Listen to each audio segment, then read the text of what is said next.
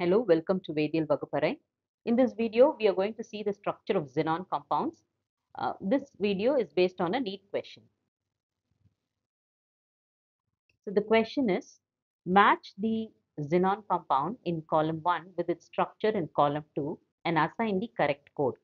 Uh, so we have column 1 with the set of xenon compounds and then their geometries are listed here and we know the geometries can be found by using VSEPR theory but then uh, when we have compounds like this we are forced to look at valence bond theory and then come to a conclusion about the compounds.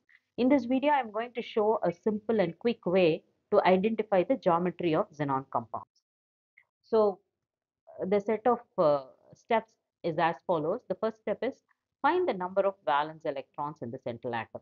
So mm, this is the first compound that we have xen xenon and uh, tetrafluoride, xenon tetrafluoride.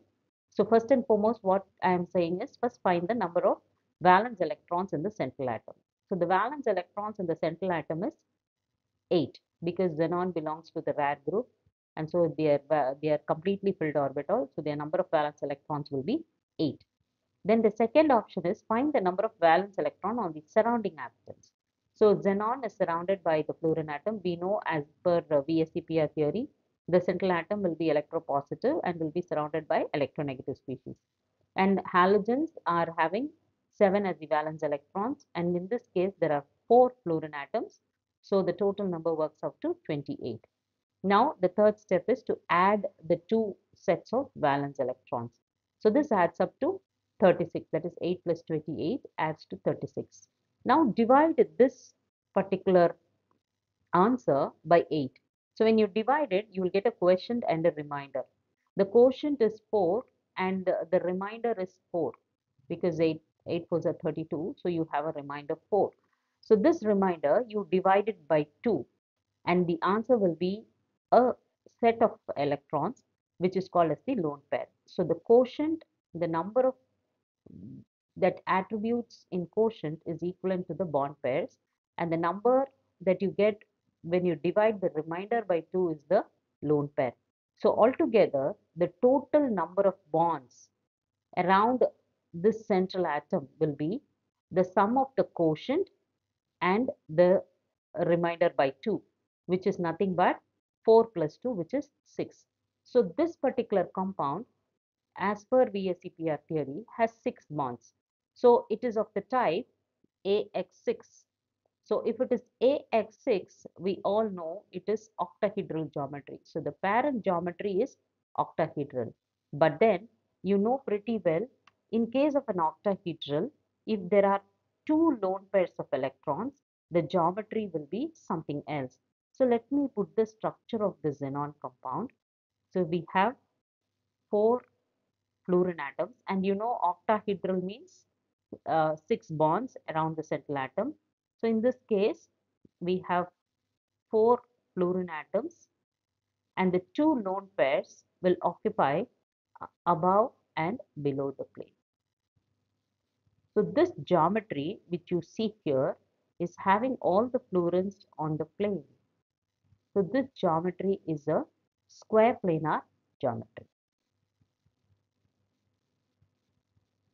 So here we see in this particular case, the lone pair of electrons occupying above and below the octahedron and so you get a square planar geometry. So XeX4, F4 is having a square planar geometry. Similarly, let us do the same set of uh, calculations for XeF6. So again, xenon has 8 valence electrons, fluorine has 7 and there are 6 fluorine atoms. So it adds up to 42 and then the total is 50. 50 divided by 8, uh, you know, 8 6 are 48. So remaining 2.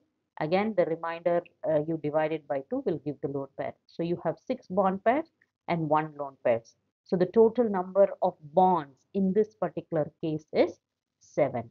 That is, this particular molecule is of the type AX7. So when we say AX7, we know the hybridization, sorry, I don't want to talk about hybridization now. I'm just talking about geometry. When it is AX7, we know it is pentagonal bipyramidal. So you have uh, seven groups like this, five in the form of a pentagon and two groups above and below. So in this particular case, this is having a characteristic of AX7, but then one of the bond is a lone pair. So that bond, which is a lone pair, okay, sticks out. And as a result, this pentagonal bipyramidal will look like a distorted octahedron. Okay, the parent structure is this, and as a result, you will see the geometry to be a distorted octahedron. So it, it is looking like because there are six atoms around the central atom, it is considered to be an octahedron, but then the seventh pair of electron distorts this octahedron and that's why it's called as a distorted octahedron. Next, we will see the next compound which is XeOF2. Here there is another element which is oxygen, but then the rule remains the same. So xenon has 8 electrons, okay, fluorine has 4, uh, 4 fluorines, so 7 into 4, 28, then oxygen is of course 6, so the total adds up to 8 plus 6 plus 28 adds up to 42.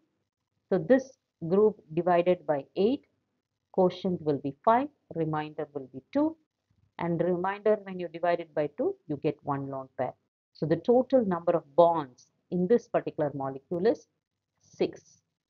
6 which means 5 bond pairs and 1 lone pair. So when you say 6, the parent geometry will be AX6 type. So if it is AX6 type, just now I told you, it will be a octahedron if it is AX6 type.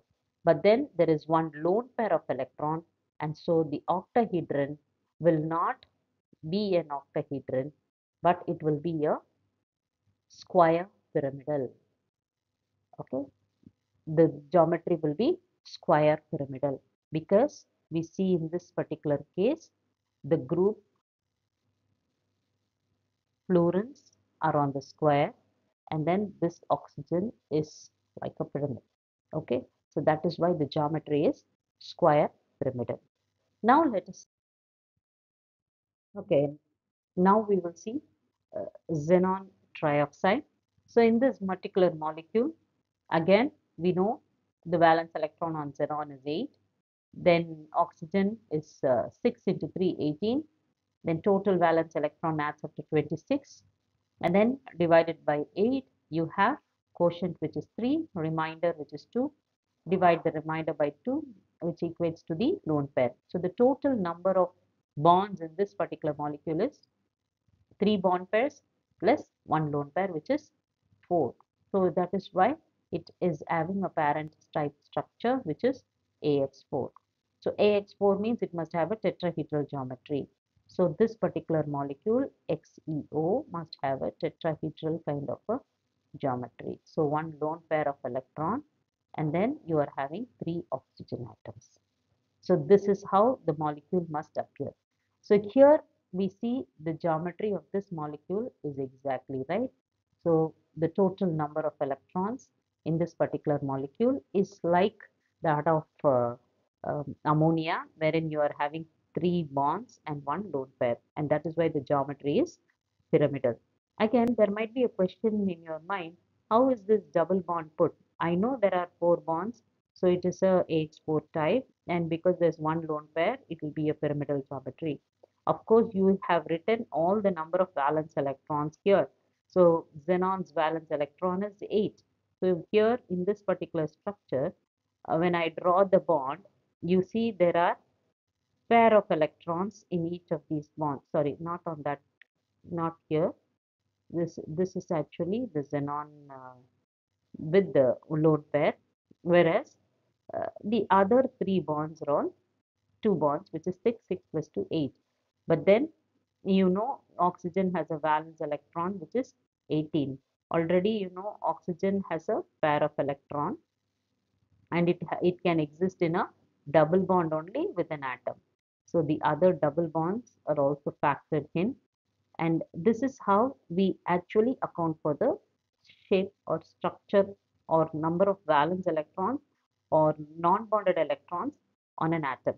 So in this particular case, we see uh, xenon total number of electrons is 26. So 2, 4, 6, 8, 10, 12, 14, 16. So this is 18, 20, 22, 24 and 26. So this is how all the valence electrons are accounted for and we have xenon oxygen double bond and a pair of electrons. So on the reverse side, we must remember double bonds and triple bonds are considered to be single bond. Lone pair is considered to be a single bond to account for the geometry. And uh, this shortcut will very easily help us to arrive at structure of any molecule. So in this case, we see the solution is xenon tetrafluoride is square planar. Then the hexafluoride is um, a distorted octahedron. Then we have oxyfluoride, which is a square pyramidal, and xenon trioxide is pyramidal. So this way we can very easily answer the question in a very short span of time. Thank you.